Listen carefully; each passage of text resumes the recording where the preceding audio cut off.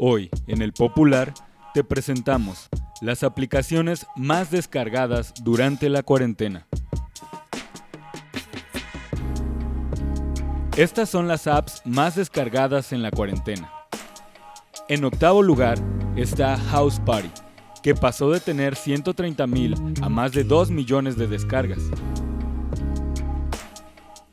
Le sigue Netflix, que si bien es demandada, en dispositivos móviles tuvo un crecimiento con 15 millones de usuarios nuevos. En sexto lugar aparece Messenger, la aplicación para chatear de Facebook. Instagram llegó a 56 millones de descargas en los últimos meses. El uso de WhatsApp aumentó 50% durante la cuarentena y tiene más de 79 millones de descargas recientes.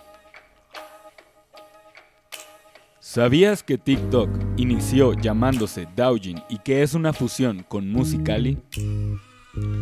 TikTok ocupa el tercer lugar pues acumuló en abril 82 millones de descargas durante la pandemia.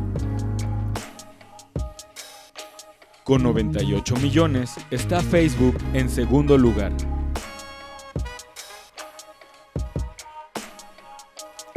El primer lugar es para Zoom, que existe desde el 2012 y suma más de 123 millones de descargas en todo el mundo.